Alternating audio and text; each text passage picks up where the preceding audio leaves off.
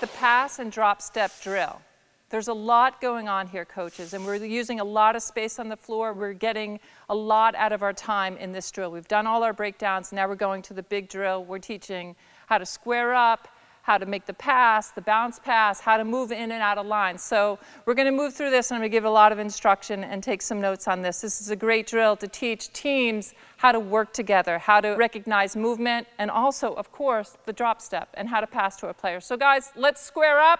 We're going to get right on the blocks. First thing our post player wants to do is know where they are on the floor. There's my block. I know where I am. My passer is ready on the three-point line, squared up shoulder to shoulder, and it's going to be a bounce pass into the post. And we're going to catch the ball strong. Here's the pass.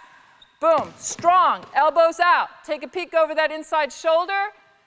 Drop step, power up, and basket. Get your rebound, no dribble, out to the outside.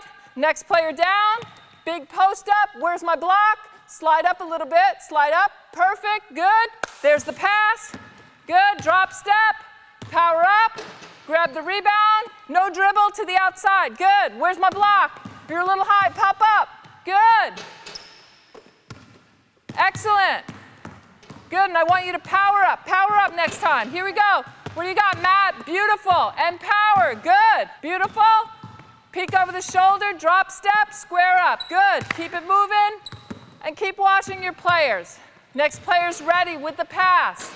Eye contact right into the player's hands. Power up off two feet, two feet, Matt. Here we go.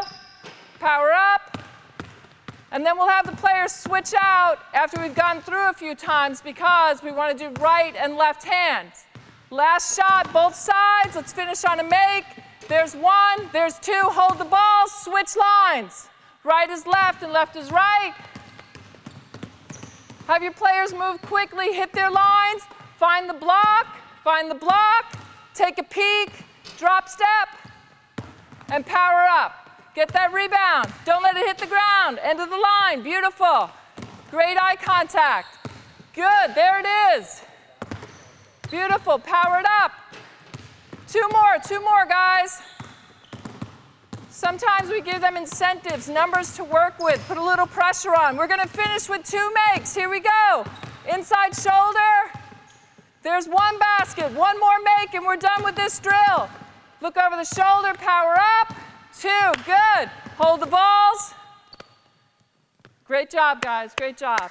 And that's the pass and drop step drill.